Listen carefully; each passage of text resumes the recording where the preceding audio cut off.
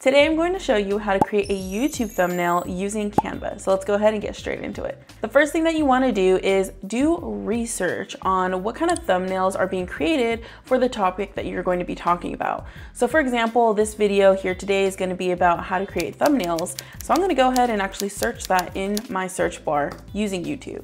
So you're going to go ahead and type in the topic or just a general keyword that is related to your topic. So if you scroll through our feed, we can kind of see a pattern with each thumbnail that we see. So the first thing that I notice is that all the thumbnails have very big, clear words.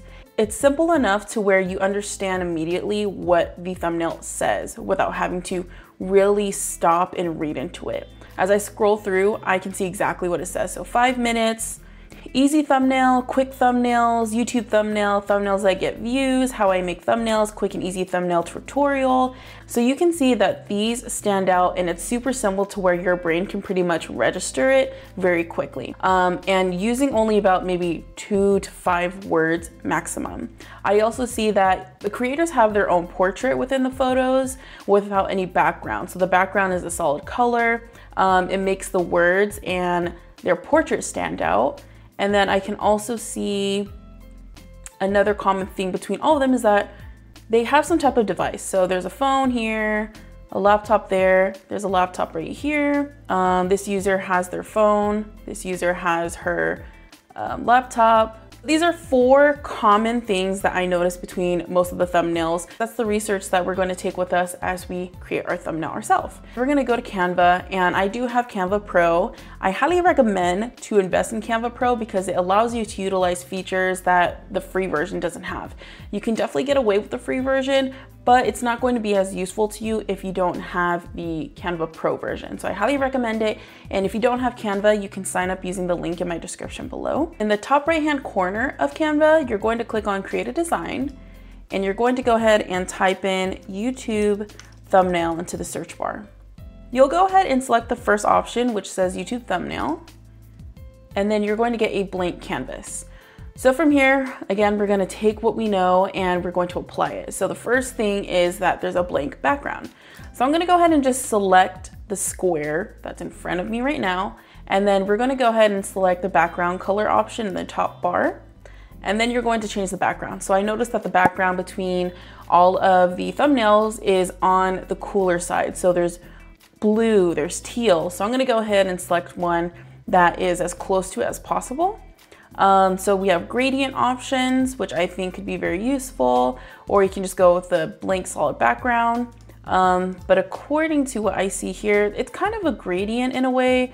We can see that there's some with a little bit of a gradient and then there's some of them that is just a flat color, but I'm gonna go ahead and stick with a gradient. So I'm gonna go ahead and select one of these down here I think this would be good because it kind of matches my brand in a way where it's just like light colors, um, kind of pastel looking. I wanna go ahead and kind of make it as close to my brand as possible. It doesn't necessarily have to be on brand, um, but this matches me more than compared to if I were to do like this color or this color here. So I'm gonna go ahead and select this one.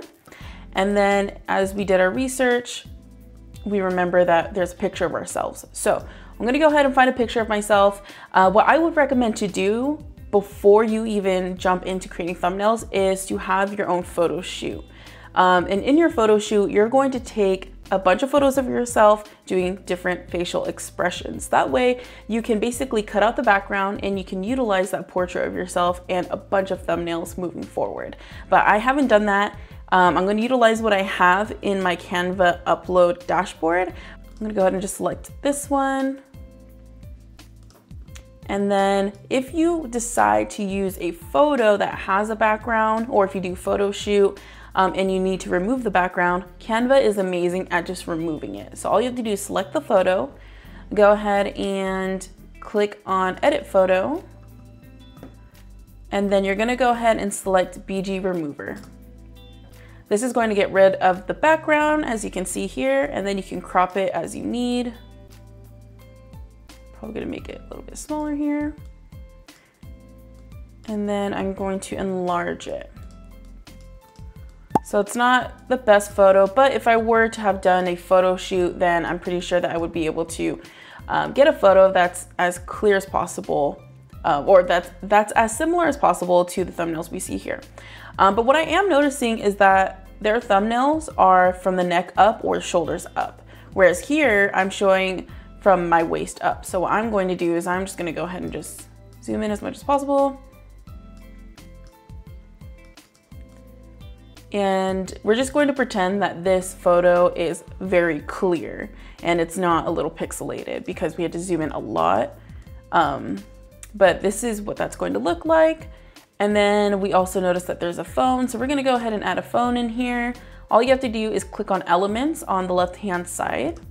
And then in the search elements bar, we're gonna go ahead and type in phone. There's a bunch of photos here with a hand holding the phone. So what I wanna do is I'm gonna go ahead and select one that is pretty similar. I think I will select this one.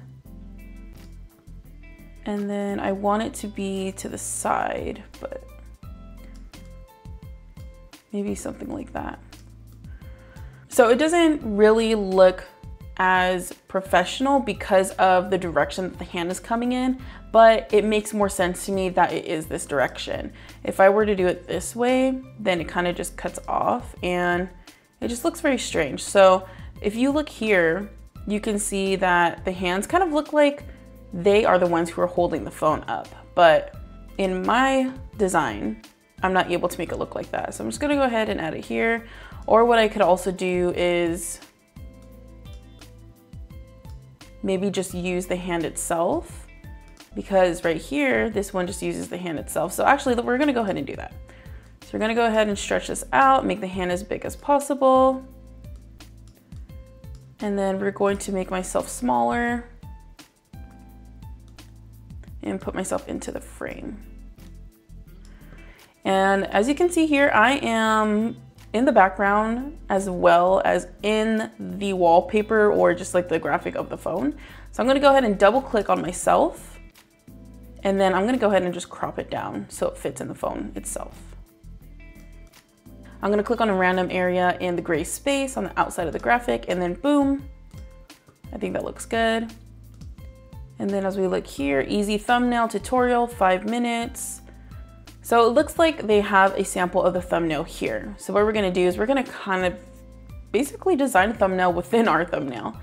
So I wanna go ahead and actually separate the phone, the, the thumbnail that's on the phone from the background. So what I'm gonna do is I'm gonna click on elements again, click on search elements and then type in square.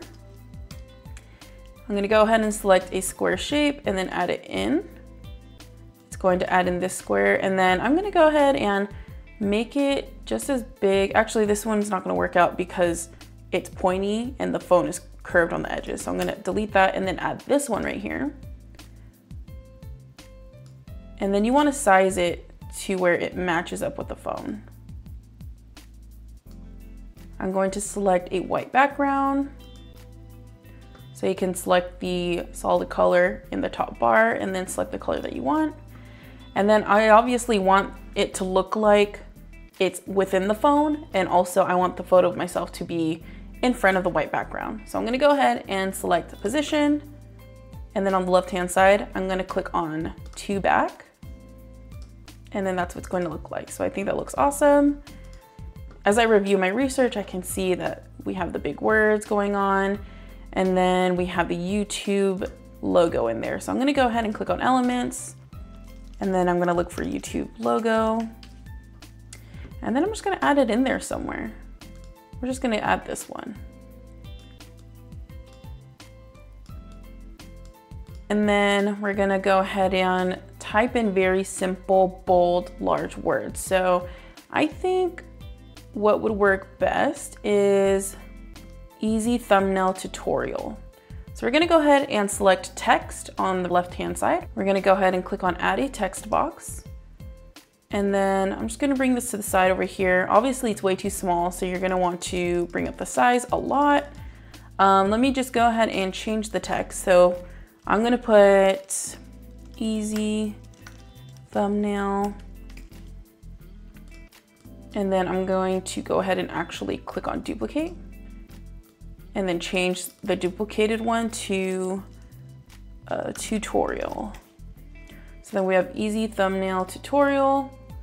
And what I'm going to do is I'm going to put tutorial inside of the actual like thumbnail graphic of the phone and then put easy thumbnail in my own thumbnail graphic here.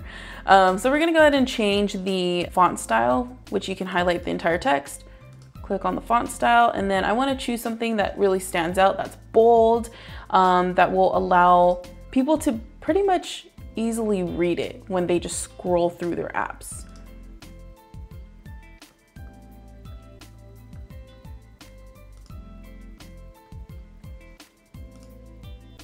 I don't want anything too unique. I want it to be very standard and just kind of get the job done without it looking too crazy.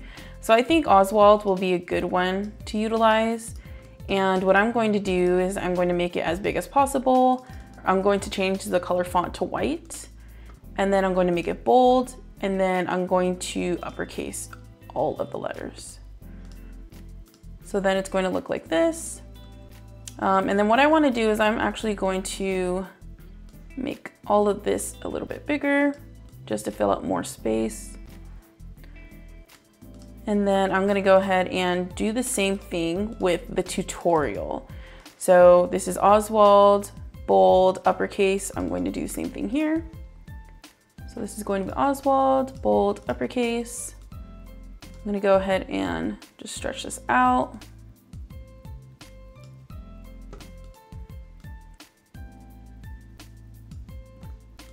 I'm gonna compare apples to apples. Okay, so one thing when I initially look at my own thumbnail is that the words easy thumbnail does not stand out. It looks a little bit too blended with the background, so I can do one of two things.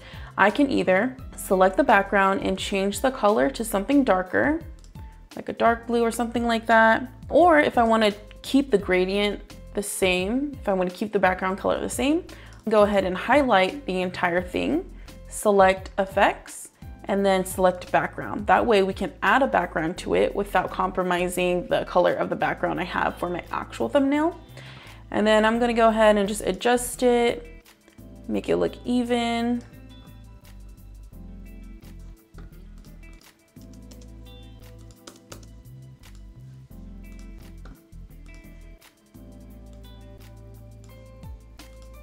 and adjust everything here just to make it all kind of proportionate.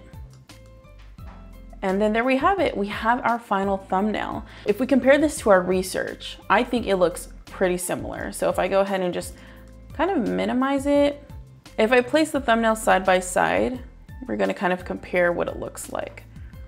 So as you can see here, this is my thumbnail, and then we have these thumbnails here. And I think it looks awesome. I think it really gets the job done. It's clear. Um, if someone were to scroll through YouTube and they're trying to figure out how to create a thumbnail that's easy to do, I do think that they would click on my thumbnail. So that is how you create a very easy thumbnail using Canva. And again, if you wanna sign up for Canva, go ahead and select the link in the description below. If you found value from this video, go ahead and hit the like button below. Don't forget to subscribe and turn on the notification bell. And then the next thing you wanna do is click this video here and I will see you there. Bye.